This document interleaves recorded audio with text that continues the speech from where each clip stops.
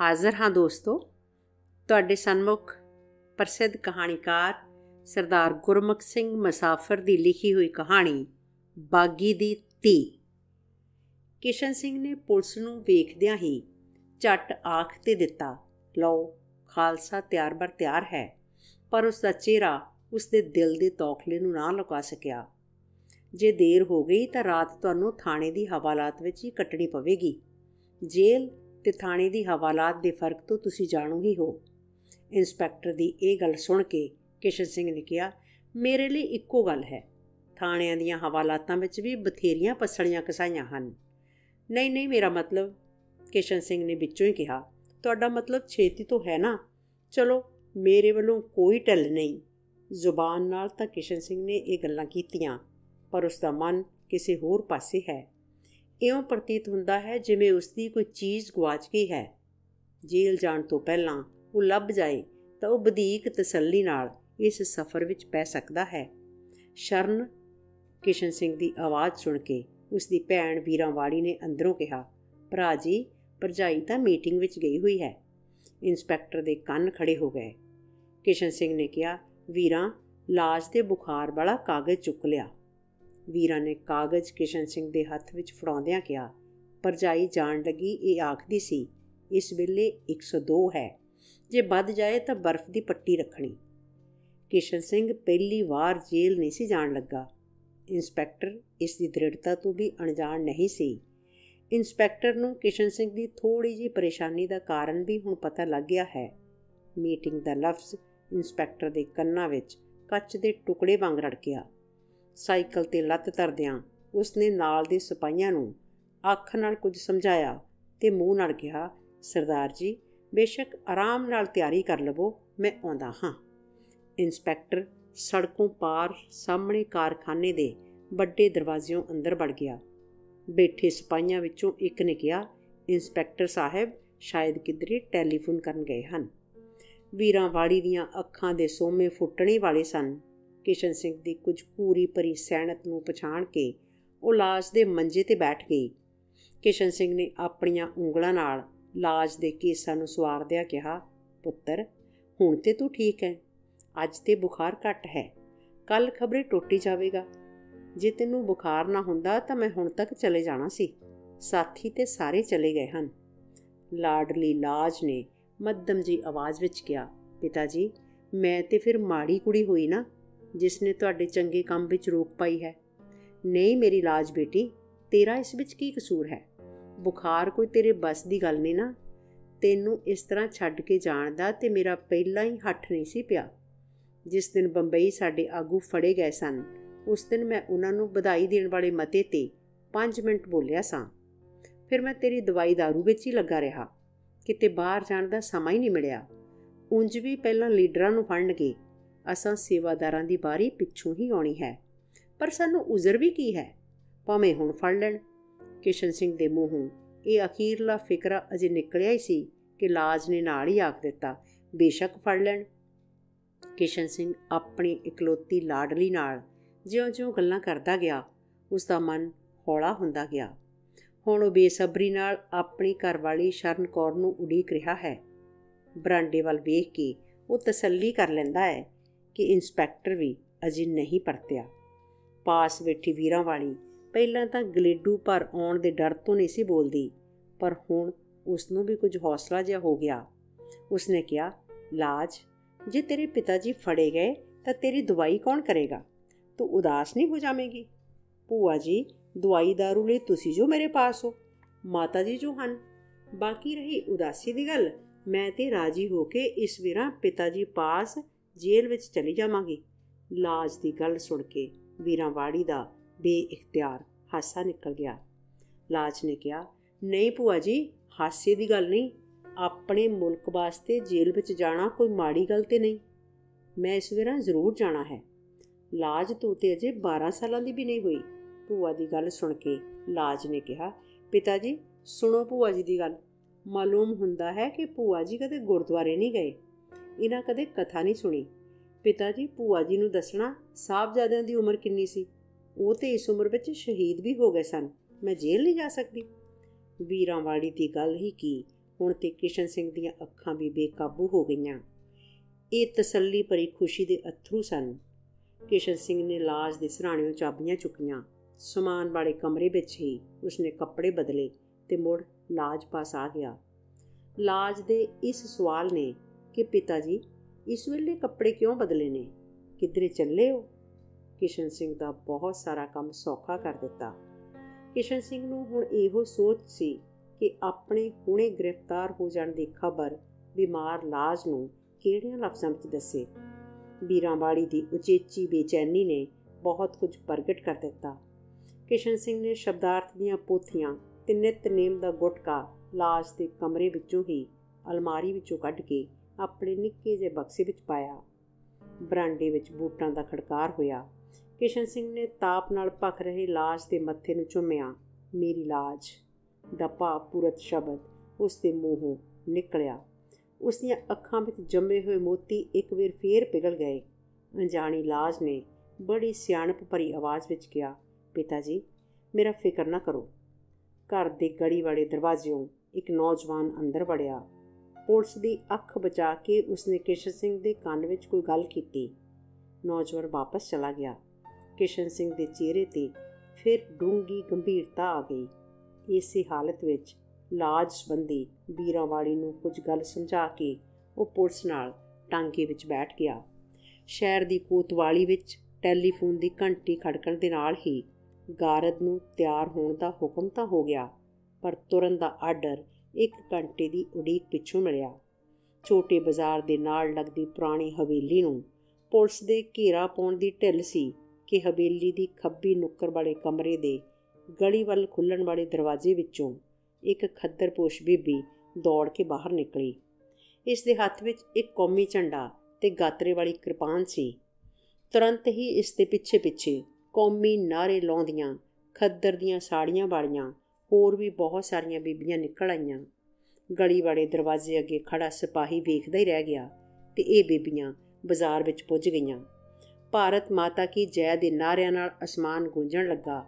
ਥੋੜੇ ਚਿਰ ਵਿੱਚ ਹੀ ਇੰਨੀ ਭੀੜ ਹੋ ਗਈ ਕਿ ਛੋਟੇ ਬਾਜ਼ਾਰ ਦਾ ਰਸਤਾ ਬੰਦ ਹੋ ਗਿਆ। ਕੌਮੀ ਝੰਡਾ ਜਵਾਬ ਵਿੱਚ ਲੋਕਾਂ ਨੇ ਕਿਹਾ, ਸਦਾ ਉੱਚਾ ਰਹੇ। ਇੱਕ ਪੁਲਸੀਏ ਨੇ ਅੱਗੇ ਵੱਧ ਕੇ ਝੰਡਾ ਖੋਣ ਦੀ ਕੋਸ਼ਿਸ਼ ਕੀਤੀ। ਝੰਡੇ ਵਾਲੀ ਬੀਬੀ ਅੱਗੇ ਵੱਧਦੀ ਜਾ ਰਹੀ ਸੀ। ਪੁਲਿਸ ਵਾਲੇ ਦਾ ਹੱਥ ਗਾਤਰੇ ਦੀ ਕਿਰਪਾਨ ਤੇ ਜਾ ਪਿਆ। ਖਿੱਚਾ ਖਿੱਚੀ ਵਿੱਚ ਮਿਆਨ ਉਤਰ ਗਈ ਤੇ ਪੁਲਸੀਏ ਦੇ ਹੱਥ ਨੂੰ ਝਰੀਟ ਆ ਗਈ। ਥੋੜਾ ਜਿਹਾ ਖੂਨ ਵੀ ਨਿਕਲ ਆਇਆ। ਪੁਲਿਸ ਨੇ ਘਬਰਾ ਕੇ ਲਾਠੀ ਚਾਰਜ ਸ਼ੁਰੂ ਕਰ ਦਿੱਤਾ। ਬਹੁਤ ਸਾਰੀ ਭੀੜ ਖਿੰਡ ਪੁੰਡ ਗਈ। ਝੰਡੇ ਵਾਲੀ ਬੀਬੀ ਨੇ ਕੌਮੀ ਝੰਡੇ ਨੂੰ ਦੋਹਾਂ ਹੱਥਾਂ ਵਿੱਚ ਕੁੱਟ ਕੇ ਫੜ ਲਿਆ ਤੇ ਇੱਕ ਦੁਕਾਨ ਦੇ ਸਾਹਮਣੇ ਫੱਟੇ ਤੇ ਧਰਨਾ ਮਾਰ ਕੇ ਬਹਿ ਗਈ। ਬਾਕੀ ਦੀਆਂ ਬੀਬੀਆਂ ਵੀ ਜ਼ਮੀਨ ਤੇ ਬਹਿ ਗਈਆਂ। ਬਹੁਤ ਸਾਰੀ ਭੀੜ ਦੇ ਖਿੰਡ ਪੁੰਡ ਜਾਣ ਤੇ ਪੁਲਿਸ ਗਾਰਦ ਦੇ ਇੰਚਾਰਜ ਨੇ ਪਹਿਲਾਂ ਬੜੇ ਰੋਬ ਨਾਲ, ਫਿਰ ਨਰਮੀ ਨਾਲ ਝੰਡੇ ਵਾਲੀ ਬੀਬੀ ਤੋਂ ਝੰਡਾ ਲੈਣ ਦੀ ਕੋਸ਼ਿਸ਼ ਕੀਤੀ, ਪਰ ਬੀਬੀ ਦੇ ਡੂੰਘੇ ਵਿਸ਼ਵਾਸ ਸਾਹਮਣੇ ਕੋਈ ਪੇਸ਼ ਨਾ ਗਈ। ਬੀਬੀ ਨੇ ਕਿਹਾ, ਇਹ ਝੰਡਾ ਸਾਡੀ ਜਾਨ ਦੇ ਨਾਲ ਹੀ ਜਾਵੇਗਾ। ਅਖੀਰ ਤੇ ਬੀਬੀਆਂ ਦੇ ਸਾਰੇ ਜਥੇ ਨੂੰ ਗ੍ਰਿਫਤਾਰ ਕਰਕੇ ਟਾਂਗੇ ਵਿੱਚ ਬਿਠਾ ਲਿਆ ਗਿਆ। ਜੇਲ੍ਹ ਦੇ ਦਰਵਾਜ਼ੇ ਅੱਗੇ ਜਾ ਕੇ ਫਿਰ ਝੰਡੇ ਦਾ ਝਗੜਾ ਛਿੜਪਿਆ ਬੀਬੀਆਂ ਕਹਿੰਦੀਆਂ ਕਿ ਅਸੀਂ ਜੇਲ੍ਹ ਦੀ ਬੈਰਕ ਤੇ ਕੌਮੀ ਝੰਡਾ ਲਾਉਣ ਲਈ ਅੰਦਰ ਨਾਲ ਲੈ ਕੇ ਜਾਵਾਂਗੀਆਂ।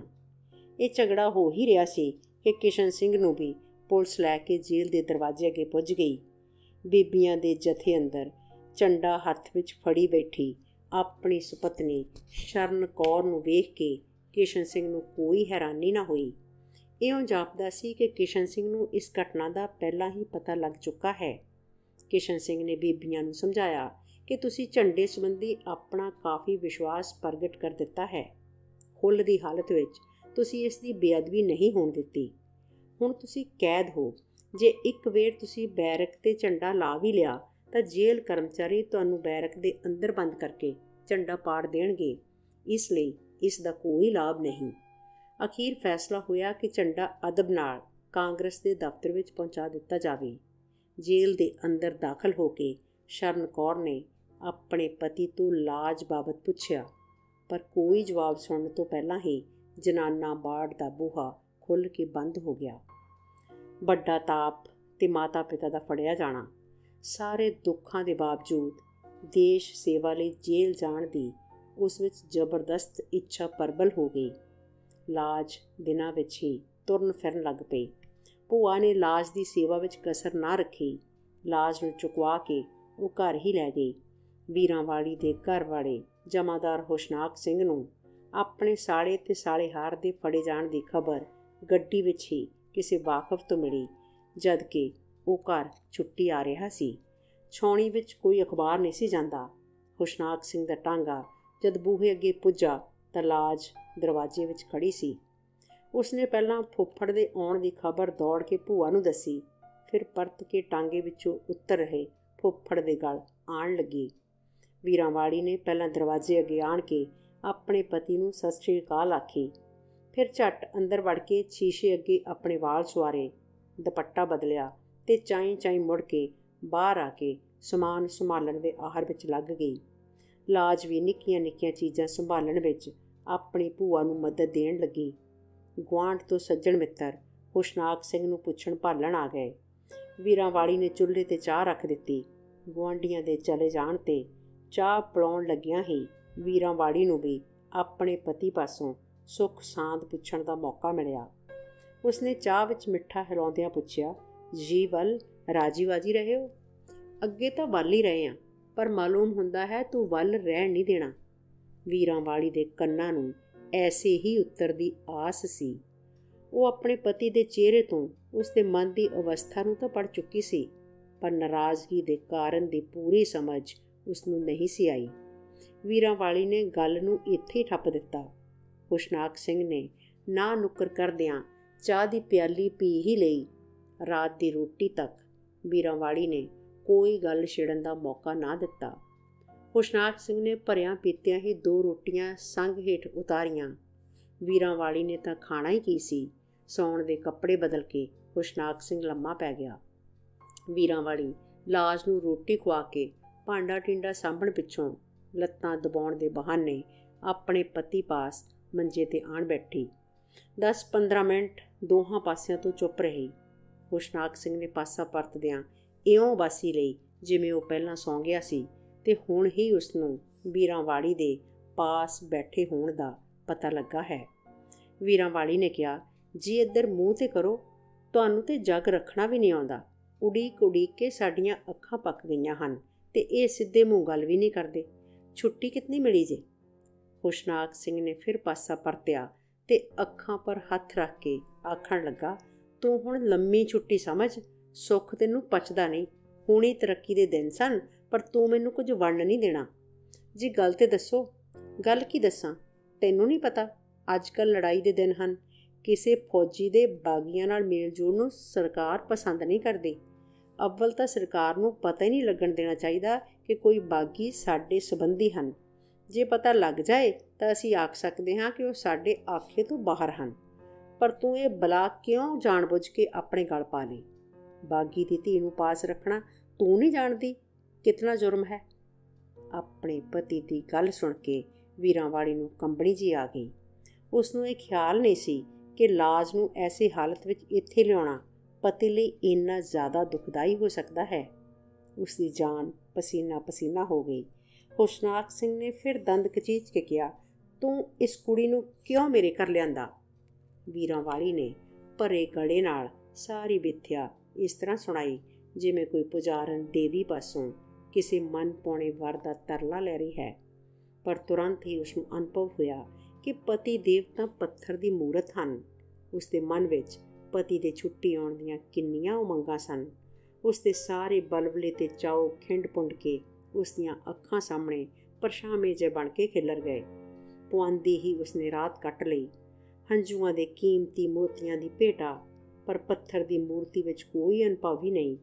ਪਤੀ ਦੇ ਹੱਠ ਨੇ ਵੀਰਾਂ ਵਾਲੀ ਨੂੰ ਆਪਣੇ ਅਪਰਾਧੀ ਹੋਣ ਦਾ ਸ਼ੱਕ ਜਿਹਾ ਪਾ ਦਿੱਤਾ।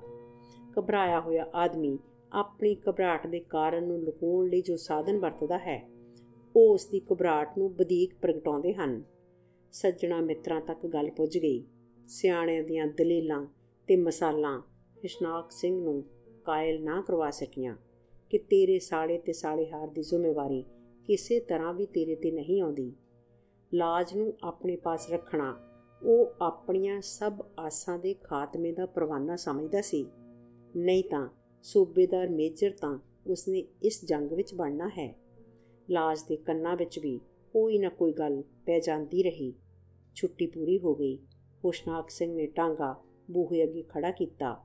ਵੀਰਾਂ ਬਾੜੀ ਨੂੰ ਬਾਹੋਂ ਫੜ ਕੇ ਉਸ ਦੇ ਵਿੱਚ ਬਿਠਾ ਲਿਆ ਤੇ ਮਕਾਨ ਦੀਆਂ ਚਾਬੀਆਂ ਜੇਬ ਵਿੱਚ ਪਾ ਲਈਆਂ। ਬੂਹੇ ਅੱਗੇ ਕੁੜੀਆਂ ਨਾਲ ਖੇਡਦੀ ਲਾਜ ਟਾਂਗੇ ਵਿੱਚ ਬੈਠੀ ਬੇਬਸ ਭੂਆ ਵੱਲ ਤੇ ਭੂਆ ਹੰਝੂਆਂ ਭਰੀਆਂ ਅੱਖਾਂ ਨਾਲ ਲਾਜ ਵੱਲ ਵੇਖ ਰਹੀ ਹੈ। ਤਾਂਗਾ ਉਲੇ ਹੋ ਗਿਆ। ਭਰਾ ਜੀ, ਲਾਜ ਦਾ ਕੀ ਬਣਿਆ? ਵੀਰਾ, ਅਸੀਂ ਤੇ ਤੇਰੇ ਪਾਸ ਅਮਾਨਤ ਛੱਡ ਆਏ ਸਾਂ। ਇੱਕ ਸਾਲ ਤੇ 2 ਮਹੀਨੇ ਗੁਜ਼ਰ ਜਾਣ ਪਿੱਛੋਂ ਸੈਂਟਰਲ ਜੇਲ੍ਹ ਮੁਲਤਾਨ ਦੇ ਮੁਲਾਕਾਤ ਕਮਰੇ ਵਿੱਚ ਭੈਣ ਵੀਰਾਵਾੜੀ ਦਾ ਇਹ ਇੱਕ ਸਵਾਲ ਤੇ ਭਰਾ ਕਿਸ਼ਨ ਸਿੰਘ ਦਾ ਇਹ ਇੱਕ ਜਵਾਬ, ਬਸ ਕੁੱਲ ਦੋ ਹੀ ਗੱਲਾਂ ਸਨ ਜੋ ਉਹਨਾਂ ਇੱਕ ਘੰਟੇ ਦੀ ਮੁਲਾਕਾਤ ਵਿੱਚ ਜ਼ੁਬਾਨ ਨਾਲ ਕੀਤੀਆਂ। ਇਹਨਾਂ ਦੋਹਾਂ ਗੱਲਾਂ ਪਿੱਛੋਂ ਦੋ ਬਲੀ ਚੁੱਪ ਤੇ ਕਿਸੇ ਵੇਲੇ ਤਰ ਅੱਖਾਂ ਨਾਲ ਇੱਕ ਦੂਜੇ ਵੱਲ ਤੱਕਣਾ ਦਿਲ ਦੀਆਂ ਗੱਲਾਂ ਸਨ, ਜਿਨ੍ਹਾਂ ਨੂੰ ਬੇਜ਼ੁਬਾਨੀ ਦੀ ਜ਼ੁਬਾਨ ਦਾ ਕੋਈ ਪੰਡਤ ਹੀ ਦੱਸ ਸਕਦਾ ਹੈ। ਮੁਲਾਕਾਤ ਕਰਵਾਉਣ ਵਾਲੇ ਅਫਸਰ ਨੇ ਵਕਤ ਖਤਮ ਹੋ ਜਾਣ ਦੀ ਘੰਟੀ ਵਜਾਈ। ਦੋਵੇਂ ਭੈਣ ਭਰਾ ਚੁੱਪ ਚਪੀਤੇ ਇੱਕ ਦੂਜੇ ਨੂੰ ਵੇਖਦੇ ਅੱਡ ਹੋ ਗਏ। ਮਾਂ ਪਿਓ ਜਾਈ ਨਾਲ ਇਹ ਆਖਰੀ ਮਿਲਣੀ ਹੈ। ਕਿਸ਼ਨ ਸਿੰਘ ਨੂੰ ਇਸ ਗੱਲ ਦਾ ਕੀ ਪਤਾ ਸੀ? ਜੇਲ੍ਹਾਂ ਵਿੱਚ ਕੈਦੀਆਂ ਦੀ ਆਵਾਜਾਈ ਲੱਗੀ ਰਹਿੰਦੀ ਹੈ। ਕਿਸ਼ਨ ਸਿੰਘ ਨੂੰ ਇਹ ਪਤਾ ਲੱਗ ਚੁੱਕਾ ਹੈ ਕਿ ਲਾਜ ਹੁਣ ਲਾਹੌਰ ਹਸਪਤਾਲ ਵਿੱਚ ਹੈ, ਪਰ ਵੀਰਾਂ ਵਾਲੀ ਉਸ ਨਾਲੋਂ ਵੀ ਸਖਤ ਕੈਦ ਵਿੱਚ ਹੈ। ਕਿਸ਼ਨ ਸਿੰਘ ਨੂੰ ਇਹ ਗੱਲ ਕਿਸੇ ਨਹੀਂ ਦੱਸੀ। ਛੌਣੀ ਵਿੱਚ ਤਾਂ ਪੰਖੇਰੂ ਪਰ ਨਹੀਂ ਸੀ ਮਾਰ ਸਕਦਾ। ਬਾਗੀ ਭਰਾ ਪਰਜਾਈ ਤੇ ਬਾਗੀਆਂ ਦੀ ਤੀ ਬਾਬਤ ਵੀਰਾਂ ਵਾਲੀ ਨੂੰ ਕੌਣ ਖਬਰ ਦੱਸਦਾ? ਵੀਰਾਂ ਵਾਲੀ ਮੁਲਾਕਾਤ ਲਈ ਜੇਲ੍ਹ ਤੱਕ ਕਿਵੇਂ ਪੁੱਜ ਗਈ? ਇਸ ਭੇਤ ਦਾ ਅੱਜ ਤੱਕ ਕਿਸੇ ਨੂੰ ਪਤਾ ਨਹੀਂ ਲੱਗ ਸਕਿਆ। ਉਸਨੇ ਆਪਣੀ ਜਾਨ ਖਤਰੇ ਵਿੱਚ ਪਾਈ। ਆਪਣੇ ਪਤੀ ਹੁਸ਼ਨਾਕ ਸਿੰਘ ਤੋਂ ਇਹ ਭੇਤ ਲੁਕਾਉਣ ਵਿੱਚ ਉਸ ਨੂੰ ਸਫਲਤਾ ਹੋਈ। ਪਰ ਭਰਾ ਦੀ ਅਮਾਨਤ ਵਿੱਚ ਮਜਬੂਰੀ ਖਿਆਨਤ ਹੋ ਜਾਣ ਦਾ ਸਦਮਾ ਉਹ ਨਾ ਸਹਾਰ ਸਕੀ। ਹੁਸ਼ਨਾਕ ਸਿੰਘ ਨੇ ਅਸਲ ਮਰਜ਼ ਵੱਲ ਤਾਂ ਧਿਆਨ ਨਾ ਕੀਤਾ। ਹੋਰ ਦਵਾਈਆਂ ਨੇ ਕੀ ਸਵਾਰਨਾ ਸੀ? ਸ਼ਰਨ ਕੌਰ ਦੀ ਕੈਦ ਪੂਰੀ ਹੋ ਗਈ। ਵੀਰਾਂ ਵਾਲੀ ਨੇ ਅਮਾਨਤ ਵਿੱਚ ਖਿਆਨਤ ਦੀ ਦੋਸ਼ਣ ਹੋ ਕੇ ਪਰਜਾਈ ਸਾਹਮਣੇ ਪੇਸ਼ ਹੋਣ ਤੋਂ ਪਹਿਲਾਂ ਹੀ ਸਦੀਵੀ ਰਿਹਾਈ ਪਾ ਲਈ। ਸ਼ਰਨ ਕੌਰ ਸਿੱਧੀ ਲਾਹੌਰ ਹਸਪਤਾਲ ਵਿੱਚ ਪੁੱਜੀ। ਵੱਡਾ ਦਰਵਾਜ਼ਾ ਬੰਦ ਸੀ। ਦਰਬਾਨ ਨੇ ਕਿਹਾ, ਮਰੀਜ਼ਾਂ ਦੇ ਆਰਾਮ ਦਾ ਵਕਤ ਹੈ। ਦਰਵਾਜ਼ੇ ਦੇ ਖੱਬੀ ਨੁੱਕਰ ਵਿੱਚ ਭੰਗੀਆਂ ਦਾ ਘਰ ਸੀ। ਉਹ ਪਰੀ ਖੱਦਰਪੋਸ਼ ਜਨਾਨੀ ਨੂੰ ਵੇਖ ਕੇ ਜਮਾਦਾਰ ਨੇ ਨੇੜੇ ਆ ਗਈ। ਉਸਨੇ ਪੁੱਛਿਆ, ਤੁਸੀਂ ਕਿਸ ਨੂੰ ਮਿਲਣਾ ਹੈ? ਸ਼ਰਨ ਕੌਰ ਚਾਹੁੰਦੀ ਹੀ ਸੀ ਕਿ ਕੋਈ ਉਸਤੇ ਸਵਾਲ ਕਰੇ। ਸ਼ਰਨ ਕੌਰ ਨੇ ਕਿਹਾ, ਮੇਰੀ ਲੜਕੀ ਇੱਥੇ ਬਿਮਾਰ ਹੈ, ਲਾਜ। ਜਮਾਦਾਰਨੀ ਨੇ ਬਾੜ ਦੇ ਕਮਰੇ ਦਾ ਨੰਬਰ ਪੁੱਛਿਆ ਤੇ ਨਾਲ ਹੀ ਕਿਹਾ, ਅਸਾਂ ਤੇ ਇਸ ਨਾਮ ਦੀ ਕੋਈ ਬਿਮਾਰ ਨਹੀਂ ਸੁਣੀ। ਮੈਂ ਹਰ ਰੋਜ਼ ਹਰ ਇੱਕ ਵਾਰਡ ਦੀ ਸਫ਼ਾਈ ਕਰਦੀ ਹਾਂ। ਸ਼ਰਨ ਕੌਰ ਨੇ ਕਿਹਾ, ਮੈਨੂੰ ਤੇ ਵਾਰਡ ਦਾ ਪਤਾ ਨਹੀਂ, ਨਾ ਹੀ ਕਮਰੇ ਦੇ ਨੰਬਰ ਦਾ ਪਤਾ ਹੈ। ਸੁਣਿਆ ਹੈ ਕਿ ਮੇਰੀ ਲਾਜ ਏਸੀ ਹਸਪਤਾਲ ਵਿੱਚ ਹੈ। ਸੁਣਿਆ ਹੈ ਜਮਾਦਾਰਨੀ ਨੇ ਹੈਰਾਨ ਹੋ ਕੇ ਪੁੱਛਿਆ, ਤੁਸੀਂ ਆਪ ਉਸ ਨੂੰ ਇੱਥੇ ਦਾਖਲ ਨਹੀਂ ਕਰਵਾਇਆ? ਨਹੀਂ, ਅਸੀਂ ਜੇਲ੍ਹ ਵਿੱਚ ਸਾਂ, ਪਿੱਛੋਂ ਹੀ ਉਹ ਬਿਮਾਰ ਹੋ ਗਈ। ਉਹ ਬਾਗੀ ਦੀ ਧੀ ਹੀ ਹੋਵੇਗੀ। ਜੇਲ੍ਹ ਦਾ ਨਾਮ ਸੁਣ ਕੇ ਜਮਾਦਾਰਨੀ ਨੇ ਕਿਹਾ। ਇੱਥੇ ਉਸਦੇ ਲਾਜ ਨਾਮ ਦਾ ਕਿਸੇ ਨੂੰ ਵੀ ਪਤਾ ਨਹੀਂ। ਪਤਲੀ, ਗੋਰੀ ਜਿਹੀ 12-13 ਸਾਲਾਂ ਦੀ ਕੁੜੀ ਹੈ। ਬੜੀਆਂ ਮਿੱਠੀਆਂ ਗੱਲਾਂ ਕਰਦੀ ਹੈ। ਉਸ ਦੀਆਂ ਗੱਲਾਂ ਸੁਣ ਕੇ ਕਦੇ ਹਾਸਾ ਆ ਜਾਂਦਾ ਹੈ, ਕਦੇ ਰੋਣਾ। ਉਹ ਆਪਣੀ ਭੂਆ ਪਾਸ ਸੀ ਸ਼ਰਨ ਨੇ ਹਾਂ ਵਿੱਚ ਸਿਰ ਹਿਲਾਇਆ। ਬਸ ਉਹੀ ਹੈ ਜਦੋਂ ਪਹਿਲਾਂ ਇੱਥੇ ਆਈ ਸੀ ਤਾਂ ਉਸਨੇ ਕਿਸੇ ਕੁੜੀ ਨੂੰ ਪੁੱਛਿਆ, ਬਾਗੀ ਕਿਸ ਨੂੰ ਆਖਦੇ ਹਨ? ਤੇ ਫਿਰ ਆਪ ਹੀ ਦੱਸਿਆ ਕਿ ਮੇਰਾ ਫੁੱਫੜ ਮੇਰੀ ਭੂਆ ਨੂੰ ਆਖਦਾ ਸੀ, ਤੂੰ ਬਾਗੀਆਂ ਦੀ ਧੀ ਨੂੰ ਘਰ ਕਿਉਂ ਲਿਆਂਦਾ? ਉਸੇ ਦਿਨ ਤੋਂ ਉਸ ਦਾ ਨਾਮ ਬਾਗੀ ਦੀ ਧੀ ਪੈ ਗਿਆ। ਜਦ ਵੀ ਡਾਕਟਰ ਆਉਂਦਾ ਹੈ, ਉਹ ਆਖਦੀ ਹੈ, ਮੈਨੂੰ ਮੇਰੇ ਪਿਤਾ ਜੀ ਪਾਸ ਜੇਲ੍ਹ ਵਿੱਚ ਲੈ ਚੱਲੋ। ਡਾਕਟਰ ਹੱਸ ਛੱਡਦਾ ਹੈ। ਜਮਾਦਾਰ ਨੇ ਦੀ ਗੱਲ ਨੂੰ ਸ਼ਰਨ ਕੌਰ ਬੁੱਤ ਬਣੀ ਖਲੋਤੀ ਸੁਣਦੀ ਗਈ। ਜਮਾਦਾਰਨੀ ਨੇ ਕਿਹਾ, ਸਰਦਾਰ ਜੀ ਨਹੀਂ ਆਏ? ਉਹਨਾਂ ਦੀ ਕੈਦ ਅਜੇ ਅੱਧੀ ਵੀ ਨਹੀਂ ਗੁਜ਼ਰੀ। ਉਹਨਾਂ ਨੂੰ 3 ਸਾਲ ਦੀ ਕੈਦ ਮਿਲੀ ਸੀ। ਸ਼ਰਨ ਕੌਰ ਦੀ ਗੱਲ ਸੁਣ ਕੇ ਜਮਾਦਾਰਨੀ ਨੇ ਠੰਡਾ ਹੌਕਾ ਭਰਿਆ ਤੇ ਕਿਹਾ, ਕੁੜੀ ਬੜੀ ਸਿਆਣੀ ਏ। ਦੱਸਦੀ ਹੈ, ਮੇਰਾ ਫੁੱਫੜ ਭੂਆ ਨੂੰ ਲੈ ਕੇ ਚਲਾ ਗਿਆ। ਮੈਂ ਬਾਹਰ ਬੂਹੇ ਅੱਗੇ ਸਰਦਲ ਤੇ ਬੈਠੀ ਸੌਂ ਗਈ। ਸਰਦੀ ਨਾਲ ਮੈਨੂੰ ਤਾਪ ਚੜ ਗਿਆ। ਜਦ ਮੈਂ ਬਹੁਤ ਬਿਮਾਰ ਹੋ ਗਈ ਤਾਂ ਉਹ ਇੱਥੇ ਛੱਡ ਗਿਆ। ਮੈਂ ਬਥੇਰਾ ਕਿਹਾ, ਮੈਨੂੰ ਜੇਲ੍ਹ ਲੈ ਚੱਲੋ। ਪਰ ਉਹ ਨਹੀਂ ਲੈ ਕੇ ਗਏ। ਇੰਨੀ ਗੱਲ ਦੱਸਣ ਪਿੱਛੋਂ ਜਮਾਦਾਰਨੀ ਨੇ ਕਿਹਾ, ਹੁਣ ਤੇ ਜਿਉ ਤੁਹਾਨੂੰ ਹੀ ਉਡੀਕਦੀ ਹੈ। ਜਮਾਦਾਰਨੀ ਦੇ ਆਖਰੀ ਫਿਕਰੇ ਦਾ ਭਾਵ ਸ਼ਰਨ ਕੌਰ ਸਮਝ ਗਈ ਸੀ। ਲਾਜ ਦੇ ਕਮਰੇ ਵਿੱਚ ਪੁੱਜਣ ਤੱਕ ਉਸ ਦੇ ਸਾਰੇ ਅਥਰੂ ਵਗ ਚੁੱਕੇ ਸਨ। ਆਪਣੀ ਮਾਤਾ ਨੂੰ ਵੇਖ ਕੇ ਲਾਜ ਦੀਆਂ ਅੱਖਾਂ ਅੱਡੀਆਂ ਗਈਆਂ। ਸਵੇਰ ਦੇ ਦੀਵੇ ਦੀ ਇਹ ਆਖਰੀ ਝਲਕ ਸੀ।